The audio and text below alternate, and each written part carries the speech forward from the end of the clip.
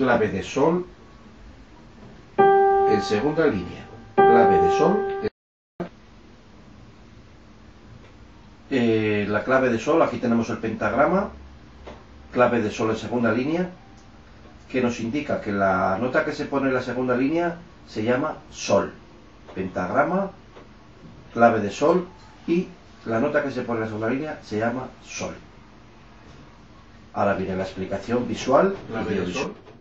La nota que se pone en la segunda línea, donde se pone la clave de sol, se llama sol. En el piano, centro del piano, es esta nota.